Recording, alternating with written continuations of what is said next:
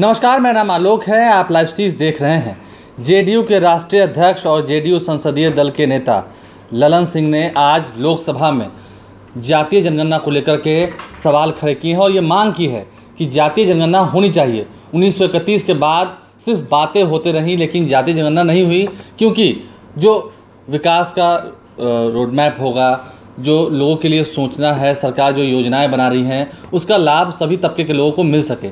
इन तमाम मुद्दों को लेकर ललन सिंह ने आज लोकसभा में अपनी बातों को रखा है। जेडीयू की ओर से जब बोलने का उन्हें मौका दिया गया, जेडीयू पार्टी की ओर से जब उन्हें बोलने का मौका दिया गया तो उन्होंने सदन में कहा कि जातीय जनगणना तो होनी ही चाहिए। क्या कुछ कहे थे ललन सिंह? ज़रा सुनिए। जब महाराष्ट्र के एक मामले में, मराठा समाज के मामले में सर्वोच्च न्यायालय ने एक इंटरप्रेट इंटरप्रिटेशन किया संविधान के 102वें संशोधन का तो उसके आलोक में ये एक संशोधन लाना पड़ा।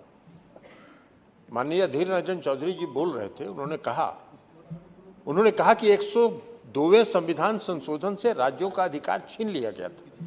नहीं, राज्यों का अधिकार नहीं छीना गया था। मैंने भी पढ़ा 102वां संशोधन, संविधान संशोधन विधेयक। वह विधेयक संविधान संशोधन किया गया था नेशनल बैकवर्ड क्लास कमीशन को संवैधानिक दर्जा देने के लिए। National national backward class commission तो पहले से भी था। कई वर्षों से है, लेकिन कहा आपने तो कभी नहीं उसको संवैधानिक दर्जा देने की बात सोची? इस सरकार की यह प्रतिबद्धता थी कि ओबीसी के प्रति हमको न्याय करना है, इसलिए नेशनल बैकवर्ड क्लास कमीशन को संविधान के 102वें संशोधन से उन्होंने संवैधानिक दर्जा देने का काम अब आप एक संविधान, सरकार की नियत है। आप सरकार की नियत पर सवाल उठा रहे थे। हम तो कह रहे हैं कि सरकार की नियत इतनी साफ़ है कि जब सरकार ने रिव्यू पिटीशन फ़ाइल किया रिव्यू पिटीशन डिसमिस हुआ सरकार एक संविधान संशोधन विधेयक लेके सदन में आई है यह सरकार की नीयत है।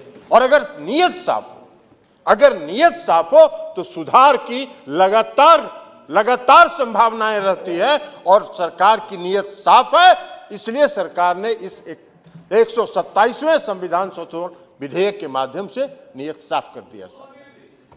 तो इसलिए महोदया, हमारी पार्टी के एक और सदस्य को बोलना है, इसलिए हम आपका ज़्यादा समय नहीं लेंगे। लेकिन हम एक बात और कहें, हमारी मांग है सरकार से। और हम लोग मांग करते रहे, पहले से भी मांग कर रहे हैं। हमारे पार्टी के नेता, बिहार के मुख्यमंत्री आदरणीय नीतीश, ओबीसी को आप पूर्णतः न्याय नहीं दे पाएँगे। जब तक 1931 में जातीय जनगणना हुआ, और 1931 के बाद आज तक जातीय जनगणना नहीं हुई। आप जनगणना कराने जा रहे हैं।